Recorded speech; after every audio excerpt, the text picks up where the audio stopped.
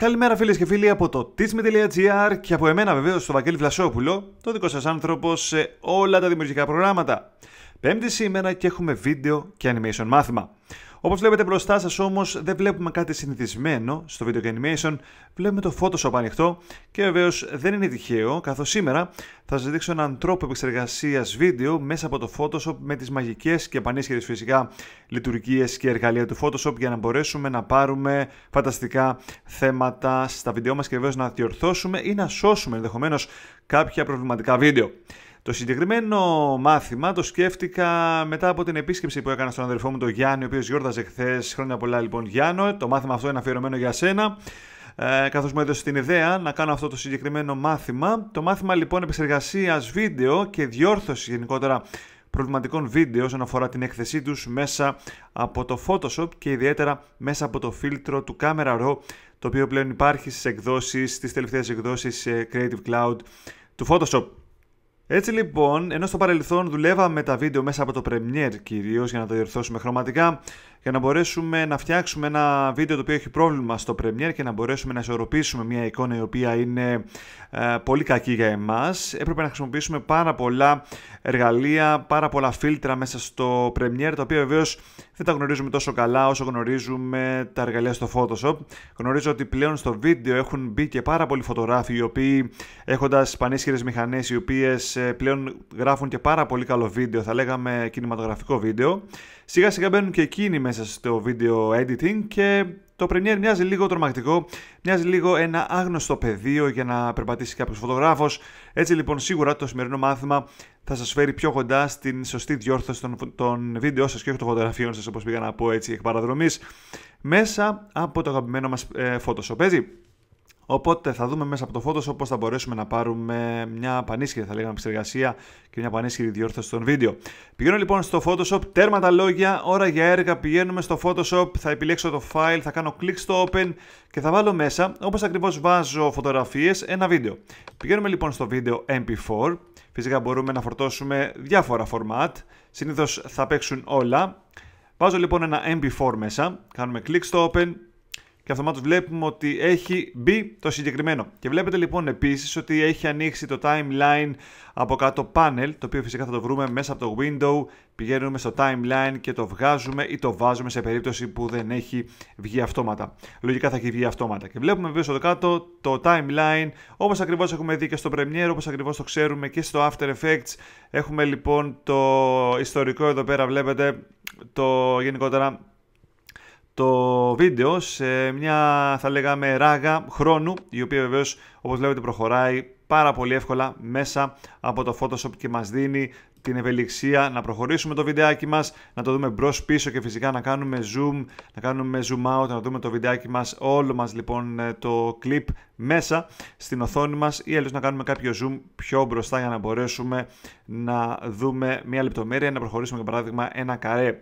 Μου αρέσει πάρα πολύ το συγκεκριμένο timeline, ενδεχομένως σε πολλές των περιπτώσεων να με, να με βοηθάει και να με βολεύει περισσότερο από ότι το timeline του Premiere, αλλά όπως και αν έχει είναι μια χαρά και αυτό και σίγουρα θα δείτε πάρα πολύ α, σημαντικά και θα λέγαμε γνωστά σημεία αν έχετε δουλέψει στο Premiere έστω και για λίγο μέσα στο Photoshop. Βλέπετε λοιπόν ακριβώς. Βεβαίως το μάθημα σήμερα δεν έχει να κάνει με τη χρήση του timeline, αλλά έχει να κάνει με την επεξεργασία προβληματικών ε, λήψεων όπως είναι αυτή εδώ. Για παράδειγμα λοιπόν, ας πούμε ένα σενάριο, θα κλείσω λίγο το πάνελ το συγκεκριμένο, Ας πούμε λοιπόν ένα σενάριο στο οποίο έχουμε πάει να τραβήξουμε βίντεο και παίρνουμε ένα τέτοιο αποτέλεσμα, ένα λοιπόν έτσι α, θα λέγαμε σιλουέτα αποτέλεσμα με πάρα πολλές σκιές και με τις λεπτομέρειες να έχουν χαθεί πρακτικά έτσι.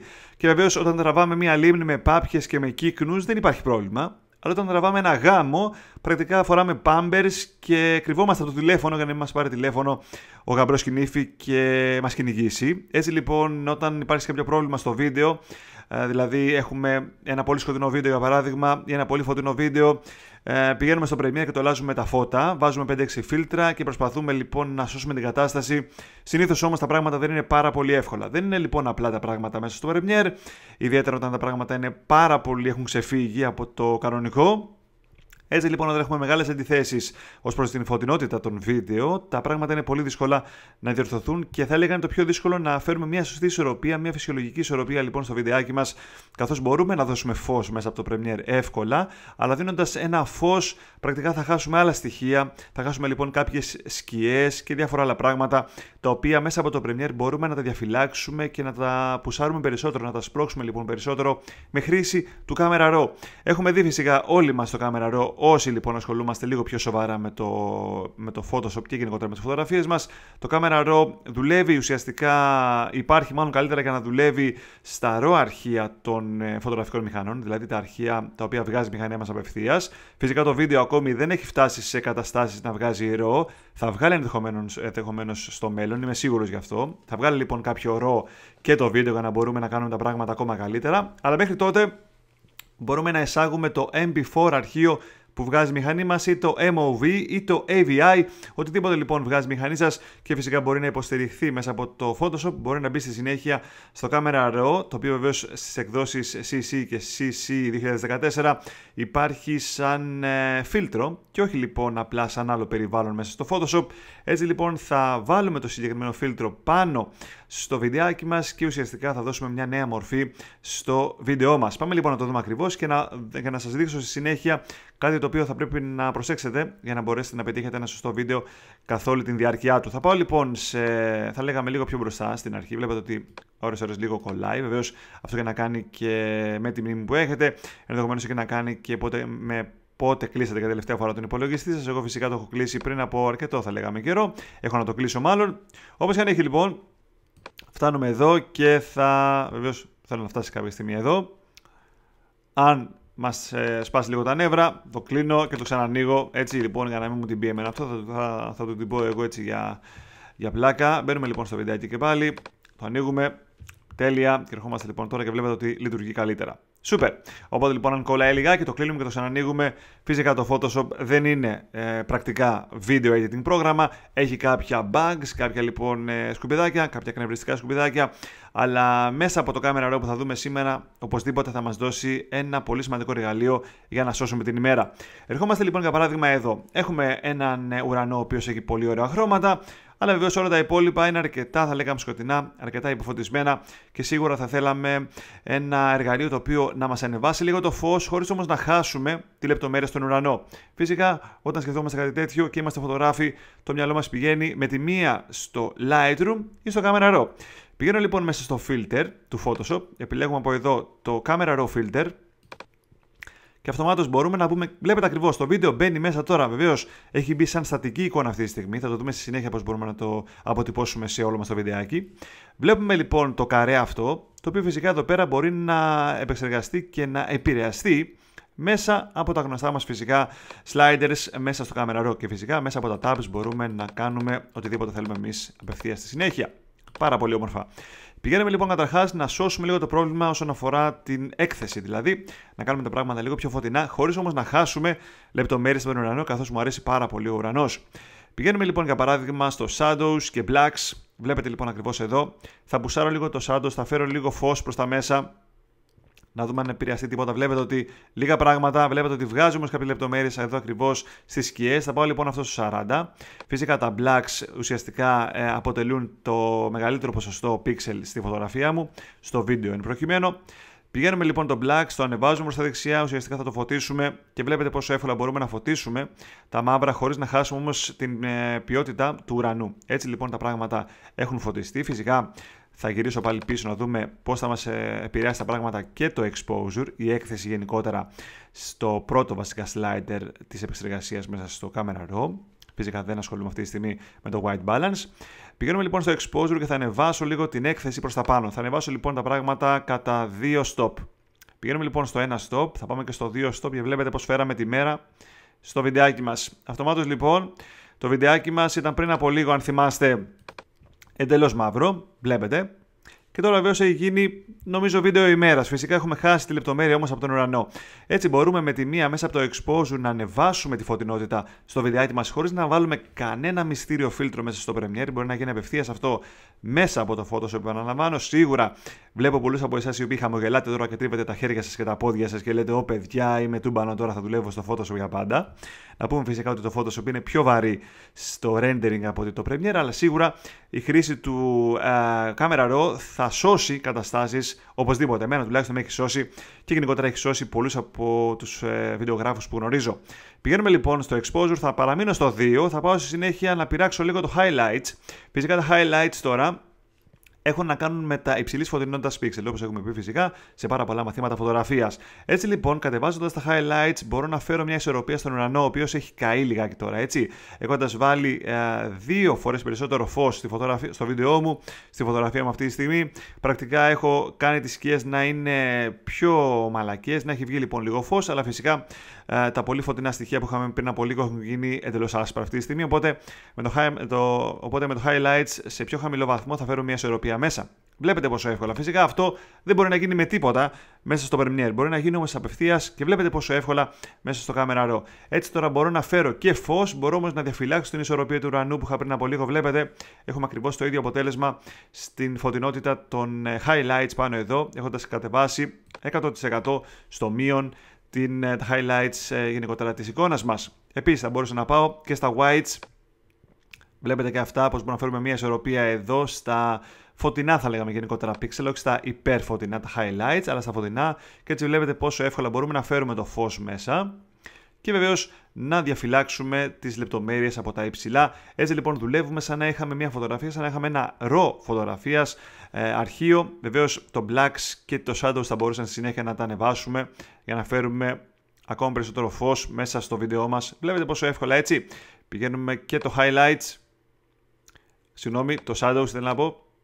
Βλέπετε, οπότε αυτομάτως έχουμε φέρει μια ε, φανταστική θα λέγαμε διαφοροποίηση του αρχικού και του τελικού μου αρχείου. Βεβαίως, επειδή δεν δουλεύουμε σε ρο αρχείο, όμως τα πράγματα αρχίζουν και γίνονται λίγο περίεργα, οπότε θα πρέπει να βρούμε μια ισορροπία καλύτερη για να μην κάνουμε το βιντεάκι μας σε λίγο μυστήριο και να μην το κάνουμε γενικότερα HDR. Βεβαίως, το συγκεκριμένο silhouette εδώ πέρα ήταν ένα αρκετά τραβηγμένο παράδειγμα. Όπως και αν έχει όμως, βλέπετε τι μεγάλη διαφορά μπορεί να κάνει. Μέχρι και χρώματα μου έχει βγάλει στα χόρτα, ενώ πριν από λίγο δεν είχαμε καμία λεπτομέρεια χρώματος. Στη συνέχεια φυσικά θα μπορούσα να πουσάρω και τη θερμοκρασία μέσα από το white balance και βέβαια θα μπορούσα να γυρίσω και αυτά σε custom auto ή as shot. Θα πάω λοιπόν να δώσω λίγο ζέστη περισσότερη. Βλέπετε πόσο εύκολα έτσι. Στο συν 15. Φυσικά το tint θα μπορούσε να πάει είτε στο πράσινο είτε στο πιο έτσι mauve θα λέγαμε για να δώσει, στο magenta δηλαδή, για να δώσει την αίσθηση του ήλιο βασιλέματος. Πάρα πολύ όμορφα. Και βέβαια έχουμε και άλλες ρυθμίσεις όπως είναι το clarity, Βλέπετε να κάνουμε ένα πιο dreamy αποτέλεσμα ή ένα πιο σκληρό αποτέλεσμα. Βλέπετε με τη μία χωρίς κανένα πρόβλημα. Βλέπετε πώς μπορούμε να δαμάσουμε το βιντεάκι μας 100% χωρίς όμως να δουλεύουμε σε άγνωστα μονοπάτια. Δουλεύουμε απευθείας μέσα από το RAW χωρίς κανένα πρόβλημα, έτσι. Μέσα από το Camera RAW. Πηγαίνω στο Vibrance να δώσω περισσότερο φως, μάλλον καλύτερα να δώσω μια ένταση μεγαλύτερη στα χρώματα και φυσικά το, ο κορεσμός κάνει τα πράγματα πολύ πιο έντονα. Οπότε θα κρατήσω τον κορεσμό σε 0 και το Vibrance σε συν 10. Από εκεί και πέρα μπορώ να πουσάρω και άλλα πράγματα, αλλά φυσικά θα το αφήσω σε εσάς. Επίσης μπορούσα να ανεβάσω λίγο την, ε, την οξύτητα στο βίντεο, αλλά να χαμηλώσω και το θόρυβο σε περίπτωση που υπάρχει. Βλέπετε πόσο εύκολα έτσι μέσα από το πανελάκι του Camera Raw. Ερχόμαστε λοιπόν, δουλεύουμε όλα αυτά τα πραγματάκια. Θα μπορούσα να αλλάξω το χρώμα στο ηλιοβασίλεμα, να το κάνουμε λίγο πιο έτσι πορτοκαλί. Ενδεχομένως, βλέπετε. Βεβαίως όμως θα μπορούσα να δουλεύω με τις ώρες εδώ. Είμαστε μια χαρά πιστεύω. Έχοντα λοιπόν φτάσει σε ένα πολύ ωραίο αποτέλεσμα, κάνουμε ένα κλικ στο OK και λέμε είμαι κομπλέ. Βλέπετε λοιπόν πώς ανέβασα το βίντεό μου, όμως το βιντεάκι μου έχει αποθηκευθεί σαν ρύθμιση μόνο στο συγκεκριμένο καρέ. Αν πάω λίγο πιο μπροστά, ουσιαστικά βλέπετε ότι παίρνουμε και πάλι το σκούρο αποτέλεσμα, το κλασικό λοιπόν αποτέλεσμα που είχαμε. Έτσι θα σας δείξω έναν άλλο τρόπο για να κάνετε μια μαζική επεξεργασία του βίντεο, του clip, χωρίς να χρειάζεται να το κάνετε καρέ προς καρέ. Γυρίζουμε λοιπόν και πάλι στο Open, στην αρχή μας κατάσταση, δεν υπάρχει τίποτα εδώ μέσα από το Camera Raw Filter τώρα, το έχουμε βγάλει εντελώς. Θα πάμε στα Layers, όπου βλέπουμε το βιντεάκι μας, θα κάνουμε δεξί κλικ και θα επιλέξουμε το Smart Object. Έτσι λοιπόν κάνοντας Smart Object, δηλαδή έξυπνο αντικείμενο το βίντεό μας, βάζοντας πάνω στο Smart Object ένα φίλτρο, αυτομάτως θα αποτυπωθεί σε όλη τη διάρκεια του βίντεο. Ξέρω πως αυτό σας ενθουσίασε για ακόμη μια φορά. Πηγαίνω λοιπόν τώρα στο Filter, θα επιλέξουμε το Camera Raw Filter και θα πάμε να κάνουμε και πάλι μια επεξεργασία. Μόνο που αυτή τη φορά θα αποτυπωθεί απευθείας πάνω σε όλο το βίντεο. Πηγαίνουμε λοιπόν στο Exposure για παράδειγμα, θα το ανεβάσω Νομίζω όχι τόσο πολύ, γύρω στο 1. Δεν θέλω λοιπόν να το κάνω μέρα μεσημέρι, θέλω απλά να πουσάρω λίγο περισσότερο, θα λέγαμε, το φως. Θα πάω στο highlights, στη συνέχεια να κατεβάσω λίγο τα highlights, να πετύχω έναν πολύ ωραίο και μυστήριο ουρανό. Θα πάω στο shadows, θα κάνω λίγο τα πράγματα πιο σκούρα εδώ ενδεχομένως. Βλέπετε ότι τώρα κάνω μια άλλη επεξεργασία, μια επεξεργασία που μου αρέσει καλύτερα εμένα θα έλεγα. Πηγαίνουμε στο whites, εδώ λοιπόν ακριβώς, στο blacks, τέλεια, clarity λίγο παραπάνω. Και βεβαίως θα πάμε στο Vibrance να βγάλουμε λίγο περισσότερο χρώμα από τον ουρανό. Νομίζω γύρω στο συν 25 θα είμαστε μια χαρά. Θα κάνω τα πράγματα λίγο πιο ζεστά. Τέλεια. Θα πάω εδώ να φτιάξουμε ένα S-curve. Μέσα λοιπόν από εδώ. Ένα γνωστό λοιπόν S-curve το οποίο πετύχει ένα ωραίο contrast στη, φωτογραφία μου κυρίως αλλά και στο βίντεο όπως βλέπετε. Πάρα πολύ όμορφα. Θα πάω έπειτα στο detail. Φυσικά δεν χρειάζεται να βλέπετε τα βήματά μου. Απλά θέλω να κάνω μια επεξεργασία για να μπορώ να έχω μια, ένα διαφορετικό βίντεο στη συνέχεια. Θα ανεβάσω λίγο την οξύτητα. Θα χαμηλώσω λίγο το θόρυβο. Τέλεια. Θα μπορούσα βέβαια να πάω στη συνέχεια να αλλάξουμε τα χρώματα μέσα από το hue, να κάνουμε τα πράσινα πιο μπλε ή γενικότερα να πάμε να πειράξουμε τα κόκκινα να τα κάνουμε πιο έτσι τρελά, έτσι να θυμίζει λίγο Vanilla Sky ένα έργο με τον Tom Cruise και την Cameron Diaz και βέβαια την Penelope Cruz. Ένα φανταστικό έργο το οποίο, αν και δεν μου αρέσει ο Tom Cruise, αυτό το έργο μου αρέσει πάρα πολύ. Είναι έτσι πολύ προχωρημένο. Νομίζω ότι το γέλο θα το πάω πιο στο, πιο πορτοκαλί για να, για να γίνει πορτοκαλί ε, το νερό. Κοιτάξτε λίγο πώς φαίνεται εδώ. Κοιτάξτε λίγο. Πηγαίνοντας στο γέλο προς τα αριστερά, βλέπετε πώς γίνεται πορτοκαλί. Φυσικά προς τα δεξιά γίνεται πράσινο. Οπότε πορτοκαλί, κίτρινο και είμαστε κομπλέ. Βλέπετε λοιπόν πώς πετύχαμε τώρα ένα πάρα πολύ ωραίο αποτέλεσμα. Φυσικά είναι πολύ διαφορετικό από το αρχικό. Κοιτάξτε λίγο. Βλέπετε, είναι λοιπόν πολύ πιο έντονο αυτή τη στιγμή. Φυσικά θα μπορούσα να τον μπουσάρω κι άλλο αν ήθελα. Λίγο παραπάνω, ίσως ενδεχομένως έκθεση. Νομίζω γύρω στο συν 1,5. Όπως και αν έχει λοιπόν. Επαναλαμβάνω, οι ρυθμίσεις είναι δικό σας θέμα αυτή τη στιγμή. Θα μπορούσα να πάω και στον κορισμό να κάνω τα πράγματα πιο άχρωμα, αν ήθελα. Βλέπετε πιο έντονα. Αλλά φυσικά δεν χρειάζεται να τα κάνετε απευθείας τώρα, έτσι. Απλά το κάνουμε για να δούμε πράγματα. Και επίσης το split toning θα μου δώσει μια άλλη κατάσταση όσον αφορά τη φωτεινότητα και τα, μάλλον τα φωτεινά και τα σκοτεινά. Έτσι θα, θα πετύχουμε μια μίξη, ένα, ένα δίχρωμο θα λέγαμε αποτέλεσμα το οποίο θα παλατζάρει ανάμεσα στα υψηλά και στα α, χαμηλής φωτεινότητας pixel. Βλέπετε πόσο ωραία. Θα μπορούσα να πάω και εδώ βεβαίως να κάνουμε ένα πιο κόκκινο αποτέλεσμα. Βλέπετε Απευθείας πετυχαίνουμε ένα φανταστικό βίντεο. Βλέπετε ένα ηλιοβασίλεμα κατακόκκινο σε σύγκριση λοιπόν με την αρχική φωτογραφία. Βλέπετε πόσο ωραίο είναι αυτό. Και φυσικά έχουμε πετύχει να έχουμε κρατήσει την ισορροπία στον ουρανό, έχοντας βγάλει περισσότερο φως στο συγκεκριμένο περιβάλλον. Πηγαίνω έπειτα να κάνουμε μια επεξεργασία όσον αφορά την διόρθωση του φακού. Φυσικά αυτή τη στιγμή δεν θα πετύχει κάτι, αλλά θα μπορούσα να κάνω εγώ διάφορα τρελά πράγματα. Βλέπετε έτσι. Θα μπορούσα να δώσω την αίσθηση του fisheye θα μπορούσα να κάνω διάφορα άλλα στοιχεία μέσα από εδώ και πάλι επεξεργάζομαι όλο το βίντεο. Είναι μαγικό, έτσι. Θα μπορούσα να πάω και στα εφέ, να βγάλουμε λίγο κόκο. Πάνω λοιπόν στο βιντεάκι μας, αν είναι φωτογραφία βλέπετε έτσι πιο ε, καλλιτεχνικό, πιο art λοιπόν βιντεάκι. Έτσι αν θέλετε να πάτε στις σκάνες ενδεχομένως να πάρετε κάποιο βραβείο. Νομίζω όμως ότι εντάξει ένας, ένα grain της τάξης του 10 θα είναι μια χαρά. Από εκεί και πέρα θα μπορούσα να βάλω και ένα vignette. Βλέπετε ότι δεν υπάρχει όριο. Έτσι, βλέπετε, μπορεί να κάνετε τα πάντα μέσα στο Camera Raw. Ό,τι μπορείτε να κάνετε με τις φωτογραφίες, μπορείτε να το κάνετε και με το βίντεο απευθείας. Αλλά πρώτο και κύριο, μπορείτε να διορθώσετε βίντεο, μπορείτε να σώσετε βίντεο. Πέρα από το καλλιτεχνικό που κάνω τώρα, μπορείτε να σώσετε βίντεο τα οποία είχαν, ε, φαίνονταν τουλάχιστον ε, χαλασμένα και καταδικασμένα μετά τη λήψη τους. Μπορείτε μέσα από το Camera Raw να τα διορθώσετε. Και φυσικά, πηγαίνοντας στο presets, μπορούμε να φτιάξουμε ένα νέο preset. Οπότε πάω εδώ κάτω και κάνω κλικ στο νέο και θα γράψουμε My Video Settings. Βλέπετε, κάνω κλικ στο OK, φυσικά επιλέγω τα πάντα.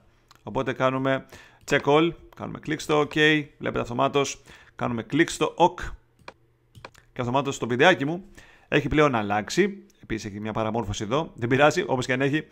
Αλλά θα δούμε ότι καθ' όλη τη διάρκεια του βίντεο είναι αλλαγμένο. Όλο λοιπόν το βίντεο μου πλέον είναι αλλαγμένο. Βλέπετε ότι σε κάθε καρέ είναι αλλαγμένο. Κανένα πρόβλημα. Έτσι. Βεβαίως τώρα έχει αρχίσει και βαραίνει λιγάκι. Δεν πειράζει όμως όπως και αν έχει. Βλέπετε ότι είναι σωστά και αλλαγμένο σε σύγκριση με το αρχικό μου. Οπότε λοιπόν θα γυρίσω και πάλι στο back. Να δούμε λοιπόν το open βίντεο. Βλέπετε πως ήταν πριν, πως είναι τώρα.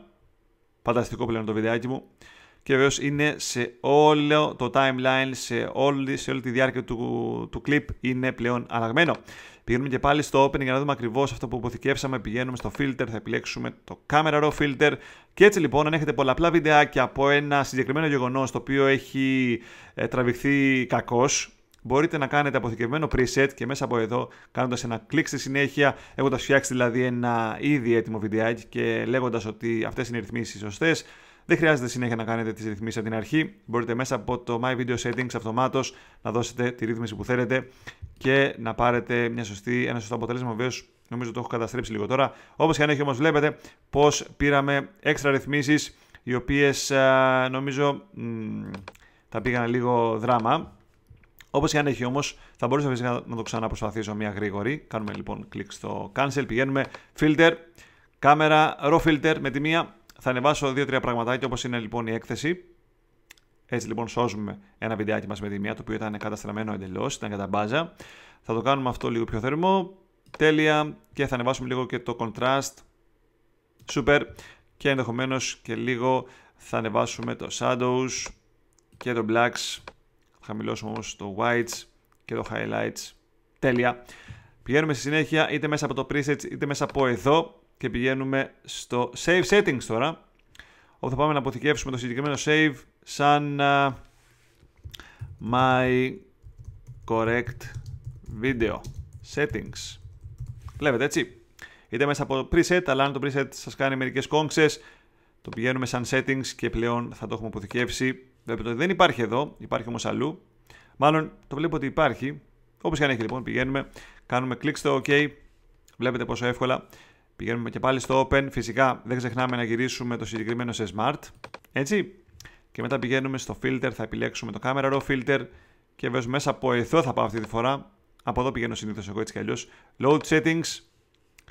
Και βέβαια θα πρέπει να βρούμε το συγκεκριμένο το οποίο το έχουμε αποθηκεύσει. Πού ακριβώς; Να δούμε στο Settings, το οποίο βέβαια είναι μέσα στο Camera Raw. Οπότε. Hmm, πάμε λοιπόν και πάλι μία να το κάνουμε γρήγορα για να μην το ψάχνω γιατί έχει πάει πολύ βαθιά. Πηγαίνουμε λοιπόν, ανεβάζουμε το blacks, shadows, whites, highlights, contrast, τέλεια. Πηγαίνουμε εδώ μέσα, πολύ σημαντικό, στο save settings να το αποθηκεύετε κάπου που να γνωρίζετε που είναι, έτσι είναι πολύ σημαντικό αυτό. Γυρίζουμε στο desktop για παράδειγμα, θα το ονομάσουμε Hollywood, ας πούμε, good settings. Κάνουμε κλικ στο save, Βεβαίω εδώ μέσα πλέον δεν υπάρχει, βλέπετε, σαν preset. Κάνουμε κλικ στο cancel, δεν χρειάζεται να πατήσουμε επιβεβαίωση. Πηγαίνω λοιπόν τώρα και πάλι στο filter. Έχουμε διορθώσει για παράδειγμα το πρώτο βίντεο. Πηγαίνουμε στο επόμενο τώρα με τις ίδιες ακριβώς ρυθμίσεις. Πηγαίνουμε στο camera raw filter. Ελπίζω τώρα να δουλέψει σωστά για να μην σας ζαλίζω εντελώς. Πηγαίνουμε στο load settings. Όπου φυσικά εδώ μέσα έχουμε το Hollywood Good Settings XMP. Κλικ στο load αυτομάτω βλέπετε πώς τις παίρνει σωστά και πλέον είμαστε έτοιμοι για να πατήσουμε το OK και να προχωρήσουμε στο render του επόμενου βίντεο. Και έτσι λοιπόν γρήγορα πετάμε μέσα στο Photoshop. Έτσι μπορούμε να σώσουμε τα βιντεάκια μας μέσα από το Camera Raw. Φυσικά, πώς βγάζουμε ένα βιντεάκι τώρα από το Photoshop, να πούμε και αυτό γιατί σίγουρα θα έχετε απορία.